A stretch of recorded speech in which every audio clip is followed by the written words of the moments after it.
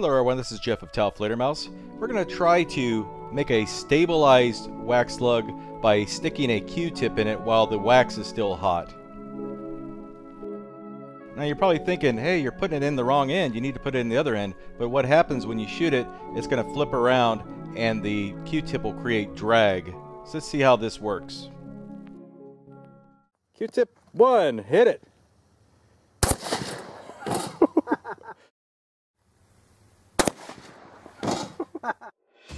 Now I made the Q-tips different lengths. This was the longest one, and honestly I thought it would break off just from the, you know, going through the air at such a high velocity.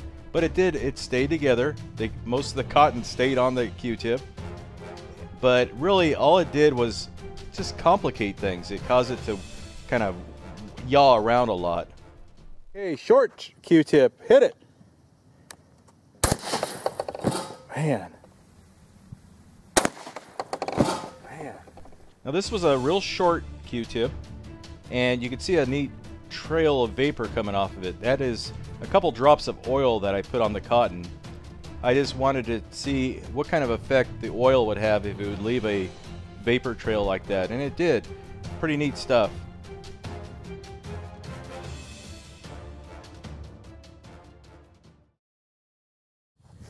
We got one of the two Q-tips, a little bit of oil on them.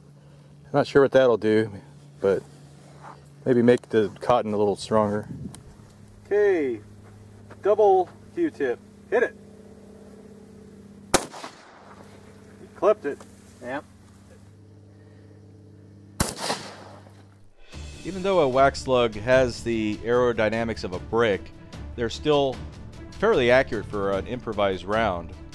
They'll fly sideways, they'll tumble, they'll keyhole, but despite that, they are pretty accurate up to about 50 yards.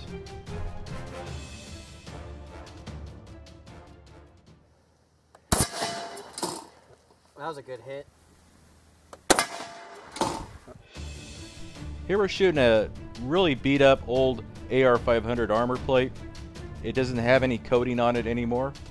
And you can see how when the wax slug hits, the energy just blasts out in every direction.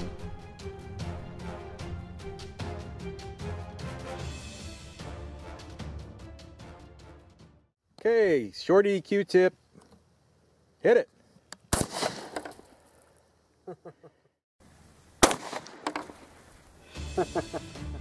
Here we're shooting a charred piece of wood and it really shows you how much energy transfer is going on when these wax slugs impact something.